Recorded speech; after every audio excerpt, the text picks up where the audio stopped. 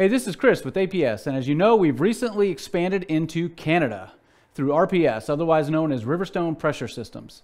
They have two different locations. The first is in Leduc, Alberta, just outside of Edmonton, and the second one is in Burlington, Ontario, just outside of Toronto. So whether you're an Oilers fan or a Maple Leafs fan, we've got you covered. In addition to our expansion into Canada, we've also expanded into Latin America through our Flow International offices located in Sao Paulo, Brazil, and Buenos Aires, Argentina.